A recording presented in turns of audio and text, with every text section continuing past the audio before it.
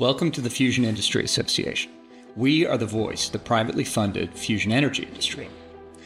The FIA's annual Global Fusion Industry Report surveys the private fusion developers worldwide, giving a snapshot of where industry stands year after year. Our 2024 report is our fourth annual report.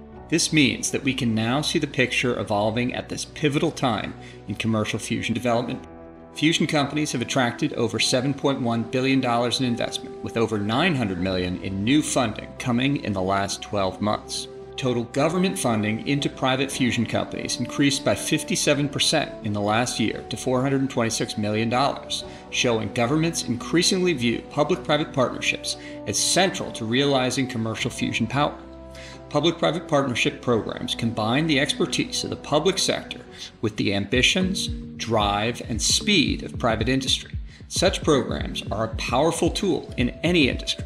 Notable public private partnerships in fusion have moved forward in the last year. The milestone based fusion development program in the United States, the German government's new Fusion 2040 initiative, the Japanese government's new Fusion Moonshot goal, and the British government's new Fusion Futures program are all moving fusion from the lab to the commercial marketplace. $7.1 billion in funding into fusion comes from a wide range of investments across the 45 fusion companies. The US is still the global leader for commercial fusion with 25 companies in the survey, followed by the UK, Germany, Japan, and China, all with three. Switzerland is a new entrant in this year's report, hosting two fusion companies, while Australia, Canada, France, Israel, New Zealand, and Sweden are each home to one.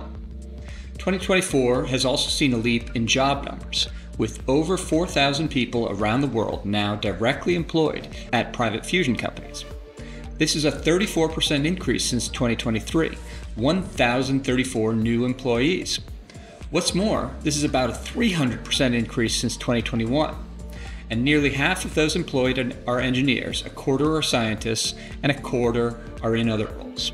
This year's continued growth in investment and employee numbers are exactly what we should be seeing in a maturing industry.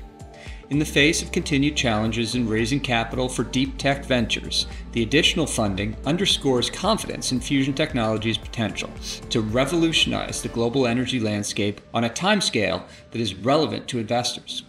Plus, with government policies shifting to direct more public funding into private fusion companies, the major players are aligning behind a shared goal. In the fourth year of this report, companies remain steadfast in their projected timelines for producing fusion generated electricity in the 2030s, with 89% of the companies responding to the survey anticipating that fusion will provide electricity to the grid by the end of the 2030s. And 70% of the companies say that milestone will, will happen by the end of 2035. Since this report was first released in 2021, these questions have received similar answers.